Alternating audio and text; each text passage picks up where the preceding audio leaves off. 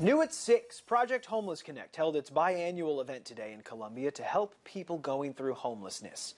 ABC 17's Ethan Hines went to the event today to find out about resources available to those going through homelessness.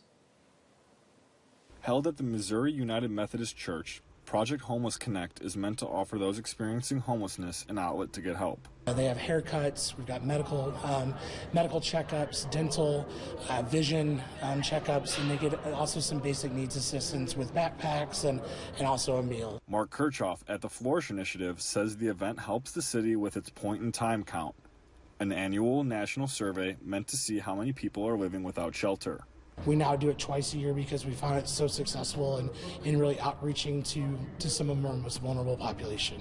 According to data provided by the Columbia Boone County Health Department, there were 49 unsheltered and 189 sheltered homeless people living in Boone County in 2020. A conditional use permit, brought to City Council by Voluntary Action Center on January 17th, proposes the idea of a 365 day 24 7 temporary shelter on the corner of Bowling Street and Business Loop 70. It could hold a maximum of 120 people with sleeping areas, catering to single men and women experiencing homelessness.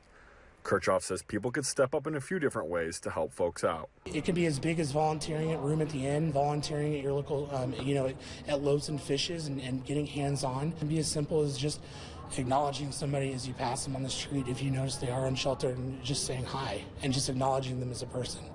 Reporting from Columbia, Ethan Hines, ABC 17 News. There are seven warming areas in Columbia open during regular business hours and seven emergency shelters that are open overnight and meant to provide a place to stay for a meal and warmth in the event of extreme cold.